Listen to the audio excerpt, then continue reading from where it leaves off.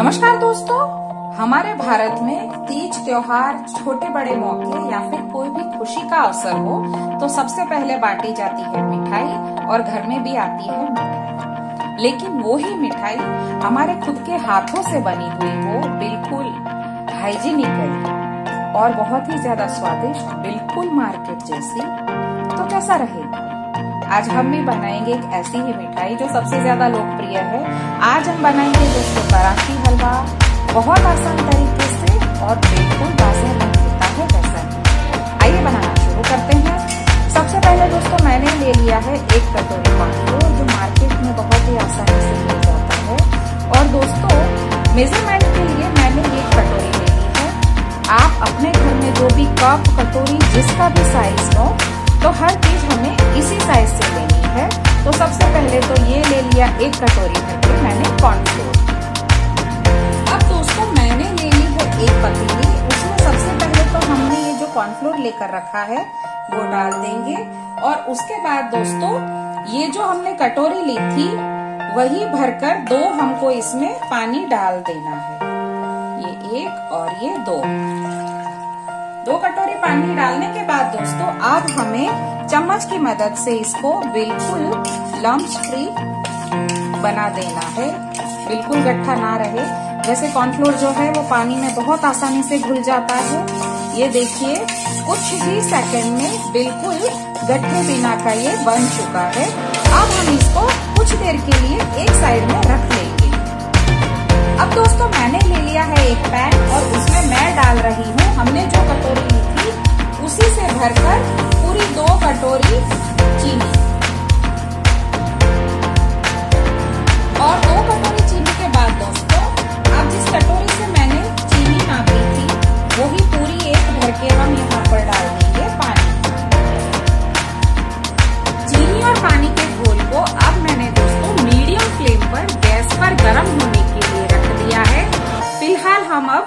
जब तक चीनी नहीं पिघल जाती, उतना वेट कर लेते हैं। सिर्फ़ दो मिनट जितना ही समय लगा है और हमारी चीनी जो है, वो बिल्कुल अच्छी तरह से पिघल चुकी है।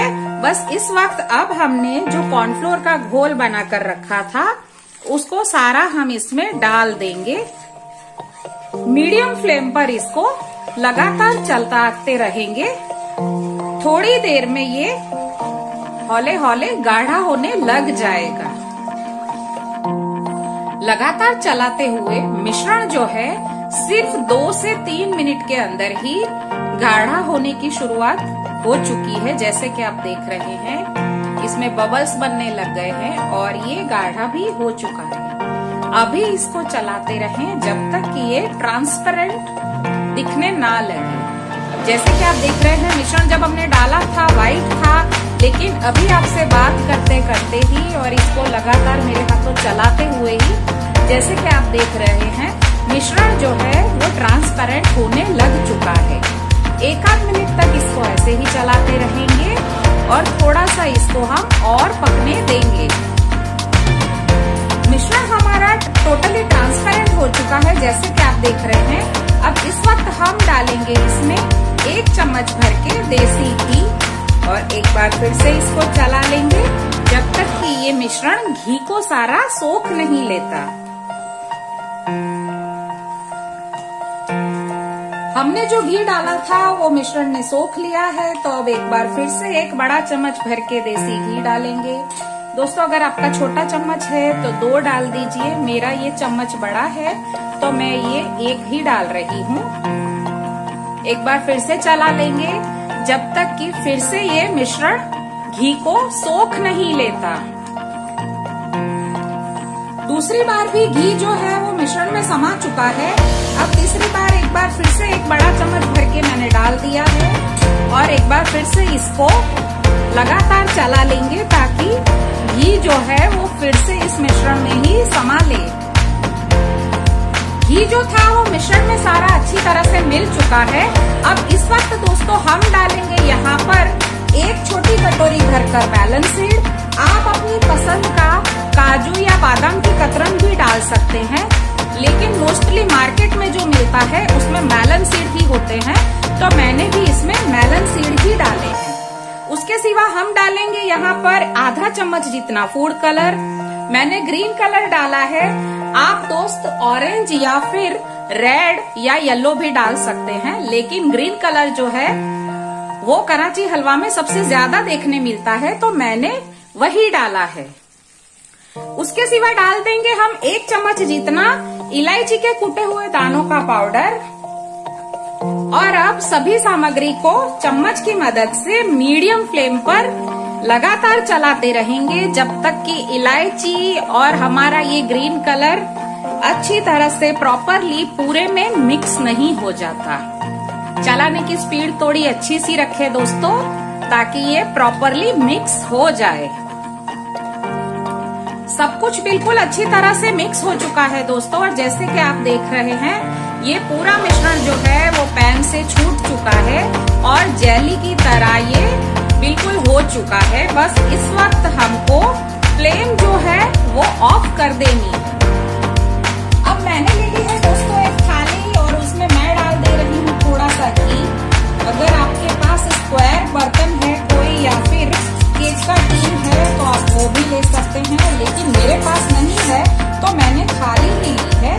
अगर आपके पास भी नहीं है तो आप भी इसी तरह से थाली ले लीजिए। उसमें लगा देंगे हम घी और पूरी थाली को अच्छी तरह से। जैसे ही थाली जो है वो ग्रीस हो जाएगी तो हमने ये जो मिश्रण बना के रखा था, वो सारा ही हम इसमें डाल देंगे। और पूरी थाली में इक्वली स्प्रेड कर लेंगे। मिश्रण जो है पूरा वो इक्वली बिछ गया है सब जगह। अब अंत में दोस्तों, इसके ऊपर मैं स्प्रेड कर रही हूँ बादाम की कतरन। आप अपने पसंद का कोई भी ड्राई फ्रूट यहाँ पर गार्निशिंग के लिए यूज़ कर सकते हैं। सब कुछ अच्छे से एक समान हर जगह पर बिछाने के बाद में अब हम इसको पूरी तरह से ठंडा होने के लिए छोड़ देंगे। दोस्तों, इस तरह से आप काजू भी इसमें लगा सकते हैं।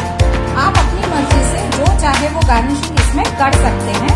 फ़िलहाल अब इस थाली को हम पूरी तरह से रूम टेम्परेचर आने तक ठंडा होने के लिए छोड़ देंगे।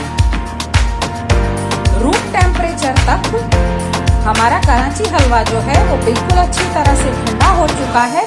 अब हम चाकू के मदद से दोस्तों, अपने मन पसंद आकार के टुकड़े इससे हम कट कर लेंगे। नॉर्मली इसके चौरस टुकड़े होते हैं तो मैं भी इसको चौरस आकार में ही काट रही हूँ। कराची हलवा हमारा दोस्तों बिल्कुल अच्छी तरह से कटकर तैयार हो गया है। दिखने में बिल्कुल वैसा ही जैसा मार्केट में होता है। इसमें आपको कोई कमी नज़र नहीं आएगी। सॉफ्ट और स्पॉन्जी भी वैसा ही जैसा हम मार्केट से लाते हैं, तब होता है।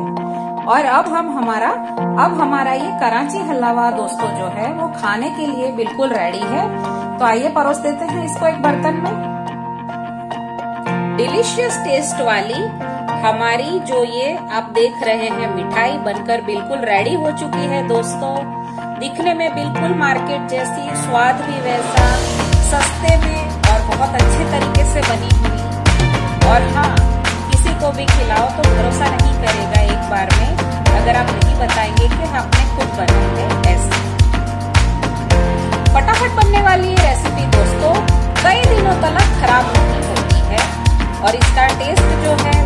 प्रॉपरली मेंटेन रहता है। बस आपको इसको एक एयर टाइट डब्बे में भर के रख देना उम्मीद है दोस्तों, आपको मेरी ये जो रेसिपी है, वो पसंद आई होगी। त्योहारों के दिन चल रहे हैं। खुद भी बनाइए, खुद भी खाइए, औरों को भी खिलाइए। और हाँ मेरे चैनल को लाइक शेयर और कमेंट करना मत भूलिए। शुक्रिया।